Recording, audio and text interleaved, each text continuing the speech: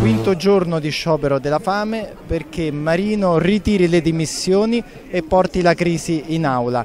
Con me ci sono altri nove compagni che scioperano e che stanno tentando di fermare il golpe dei nominati e degli innominabili contro gli eletti ed elettori.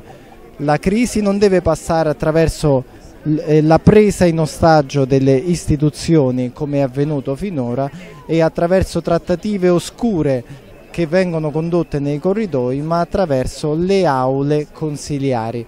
In particolare il sindaco deve chiedere conto al partito che fino all'altro giorno ha votato tutti i provvedimenti di questa giunta anche quelli che a noi radicali lasciavano molte molte perplessità deve chiedere perché da un giorno all'altro questo sindaco eletto debba cadere e debba essere sostituito da un commissario non eletto. Quali poteri chiedono questo e quando in quel caso si andrà al voto?